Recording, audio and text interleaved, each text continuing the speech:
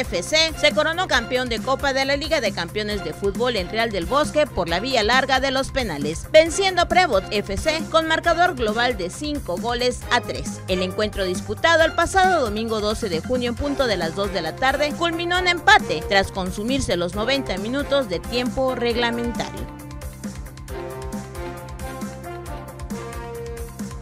Ambos equipos desde el inicio de las acciones intentaron mantener la posesión del esférico en la media cancha, con importantes llegadas claras de gol, pero sin concretar.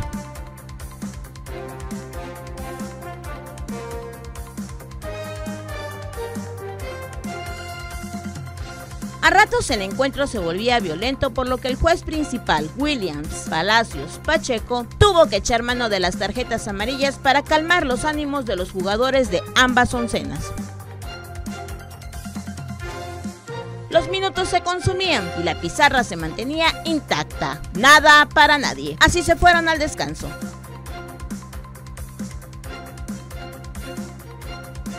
En la parte complementaria, la historia se repitió. Llegadas sin concretar, entradas violentas y más tarjetas amarillas. En total, cinco amonestaciones, una de Prevots y cuatro de Sich. Y una expulsión de Sich por conducto de Francisco Mata. Ronaldo Coronel, el sope camiseta número 22 de Sich, fue quien abrió el marcador a pase filtrado de Jorge Pérez, camiseta 6 desde la media cancha, recibiendo el esférico en el área de guardameta, quien al salir a achicar su portería fue vencido con un sombrero incrustándose el balón en las redes. El empate de Prevot FC se produjo minutos antes de terminar el tiempo reglamentario mediante el cobro de una falta cerca del área chica. Johnny Snyder, con un tremendo zapatazo, disparó al ángulo superior izquierdo del portero. Imposible de atajar.